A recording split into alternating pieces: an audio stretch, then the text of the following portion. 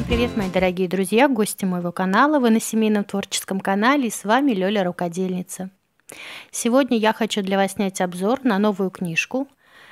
А, это «Раскраска антистресс» от Джоанны Бесфорд. Это «Рождественские чудеса. Книга для творчества и вдохновения». Эту книжку очень а, давно просила Серафима. И а, на Рождество она получила эту книгу. И я наконец-таки собралась снять для вас обзор на эту книжку. Серафима уже начала ее раскрашивать, поэтому здесь вы встретите уже раскрашенные страницы. Ну, э, начнем с того, что выполнена она в твердом переплете. У нее вот такой вот твердый переплет.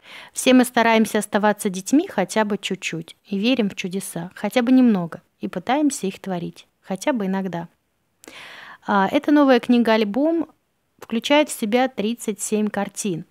Их можно оставить в альбоме, их можно вырезать и вставить в рамку или подарить какому-то близкому другу, родственнику. А, можно раскрашивать а, карандашами, гелевыми ручками. И Серафима некоторые картины даже здесь раскрашивает маркерами. Односторонние работы, поэтому можно раскрашивать маркер. Она подкладывает просто страничку. Вот первый лист. Как вы видите, она уже начала здесь раскрашивать елочные игрушки. Она подкладывает страничку, чтобы не отпечатывался маркер на рисунке. И все прекрасно у нее получается. Здесь можно подписать, кому принадлежит эта книга. Как вы видите, здесь есть вот такие вот пунктирные линии, по которым можно вырезать картинку. Пусть праздники станут красочными. Нарядные елочные игрушки, изящно украшенные пряничные домики, гирлянды, астролисты и плюща. Книга «Рождественские чудеса» – сокровищница бесподобных арт-постеров. Вдохновите в них жизнь, раскрасьте и подарите. В книге 37 арт-постеров, которые можно легко вставить в рамку или подарить друзьям на праздник.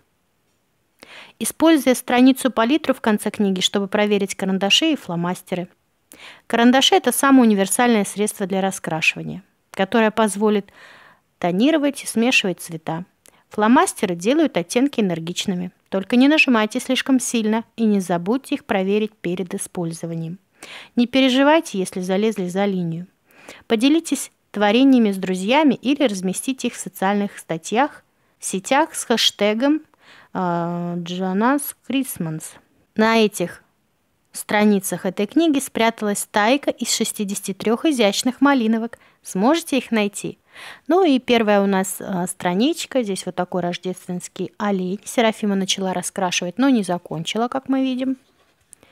И смотрите, на этой страничке у нас рисунка нет. То есть это односторонние картинки, которые можно раскрашивать даже маркерами. Сюда подкладываете листочек самый обычный, чтобы не отпечатывался маркер на этом рисунке. И раскрашиваете, как вам нравится. Здесь такой красивый рождественский венок, елочка, такой красивый олень, олень. И а, здесь у нас идет без рисунка, так как сейчас у нас впереди будет картинка на двух листах. Вот такая вот огромная. Елочные украшения. Такой домик красивый, наверное, пряничный. Вот Серафимка раскрасила белого медведя, который на своей спине несет игрушки. Она уже начинает а, потихоньку учиться делать тени, смешивать цвета. Посмотрите. Достаточно красивая работа у нее получилась. Вот еще одна работа, которую она раскрасила, снежинка.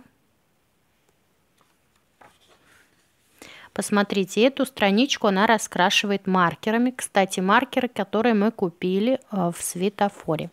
И про что я вам говорила. Вот так они отпечатываются на страничке, которая не раскрашивается. А здесь у нас был подложен белый листик, чтобы не пропечатался рисунок на эту часть картинки. Посмотрите, как ярко и сочно получается. Очень красиво, очень. Здесь такие щелкунчики. Дальше идет у нас вот такая интересная работа.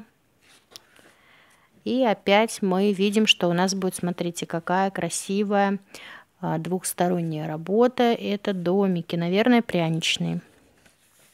Здесь Серафима начала раскрашивать такие вот сладости, и здесь она решила выполнить также фон. Что-то у нее тут страничка загнулась. Вот что у нее получается. А, я говорю, что попробую вот в работах, где много фона, например, как в елочке, да, вот этот фон, заполнить гуашью, либо акварельными красками. Ну вот пока она еще думает над этим моим предложением. То есть вот вы видите, да, что здесь рисунок отпечатывается, но так как а, здесь раскрашивать нечего, то ничего в этом страшного нету. Здесь она раскрасила вот такую красивую птичку, наверное, это голубь, тоже раскрашивала маркерами. И вот про этот белый фон говорю, заполни его э, красками акварельными очень быстренько. Будет очень красиво. Ну, может быть, в будущем она займется этим. Елочка. И вот отпечатан рисунок на другой стороне. Вот такой вот красивый граммофон Серафима раскрасила с елочными украшениями. Тоже здесь, в принципе, можно было бы сделать красивый-красивый фон. Сова. Здесь у нас замок в шаре. Серафима что-то начала его раскрашивать и бросила пока на этом этапе. Снежинки. Вот такие интересные картинки. Камин красивый елочка, такая красивая лошадка, елочные игрушки, новогодние часы. Про 5 минут, 5 минут, 5 минут, кролик, пуансетия, зимний такой цветок Нового года, морозное сердце, вот такая интересная работа, елочка, птички – вот такие э, санки Деда Мороза или Санта-Клауса с подарками. Елочная игрушка. Олени красивые с птичками здесь у нас. Вот такая вот интересная работа. И здесь у нас страница палитра для проверки карандашей и фломастеров.